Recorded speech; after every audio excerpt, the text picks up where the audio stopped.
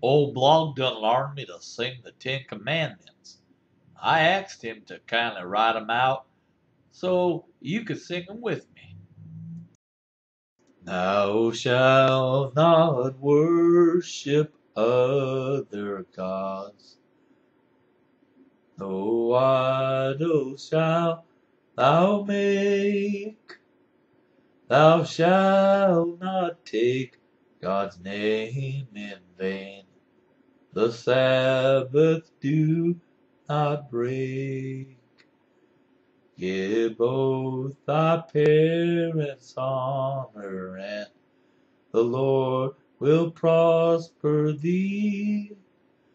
Thou shalt not kill, and thou shalt not commit adultery.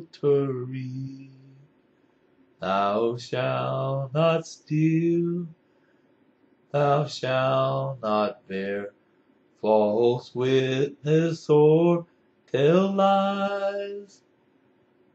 Thou shalt not covet what thy neighbor owns with greedy eyes. Now here they is broken down a mite for easier understanding. Number one, love God more than you love anything else. Number two, don't make anything in your life more important than God. Number three, always say God's name with love and respect. Number four, honor the Lord by resting on the seventh day of the week. Number five, love and respect your mom and dad. Number six, never hurt anybody. Number seven, always be faithful to your husband or wife. Number eight, don't take anything that isn't yours. Number nine, always tell the truth. And number 10, be happy with what you have. Don't wish for other people's things. And as far as the seventh day, eh, that's just the Sabbath or Sunday. The Westminster Shorter Catechism. Question 14. What is sin? Answer.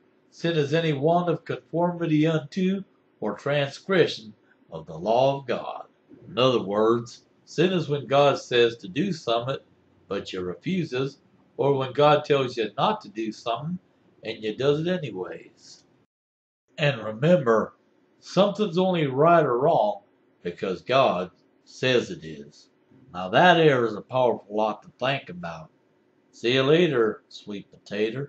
And until next time, God bless y'all real good.